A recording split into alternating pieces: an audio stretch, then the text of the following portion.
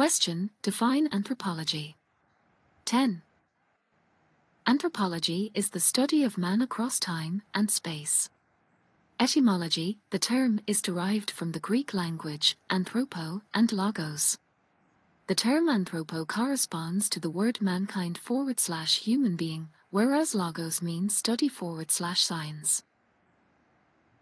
Aside from studying humans in the present, it also examines the evolutionary path of humanity from the Pleistocene era to today's globalized world, and also tries to trace the future path.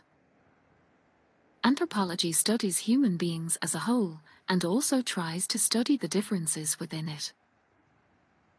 Anthropology is an incredibly broad forward slash vast and dynamic subject, hence, can be seen in association with numerous other fields. In contrast to other disciplines that study human beings, it combines in one discipline the approaches of both the biological and social sciences.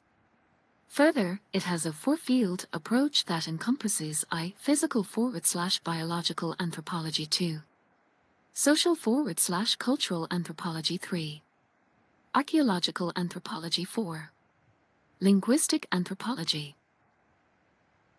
Each of these unique subdisciplines of anthropology contributes to understanding different aspects of human beings in a more holistic way.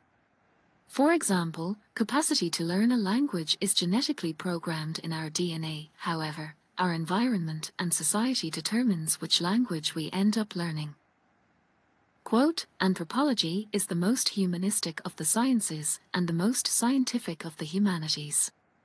Alfred L. Kroeber